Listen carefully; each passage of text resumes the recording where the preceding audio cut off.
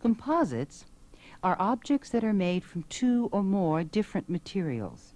Sometimes they seem to conspire to prevent you from cleaning them.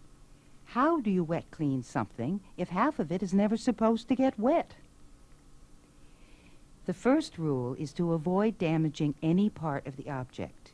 This will mean using the least aggressive technique, probably light brushing. In some cases, it may be possible to disassemble the object and clean each of the materials in the appropriate manner.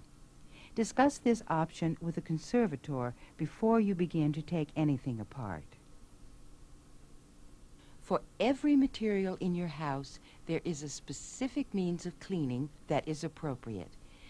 The issue is complicated, though, when materials look like one thing but are in fact another. This vase may look like glazed ceramic, but is really lacquered wood. And the pedestal of this bust, it's not wood, but plaster.